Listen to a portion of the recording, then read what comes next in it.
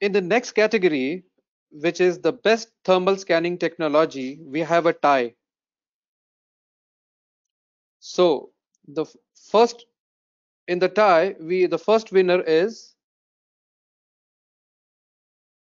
Secure Entry. Hello, this is Sunil Kejriwal here from the Secure Entry team.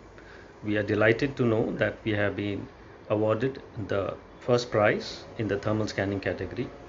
We are also proud to share that our provisional patent for this unique Make in India product has been accepted. We would like to take this opportunity to thank the entire iNFHRA team and the entire set of jury for awarding us this prestigious award. Thank you.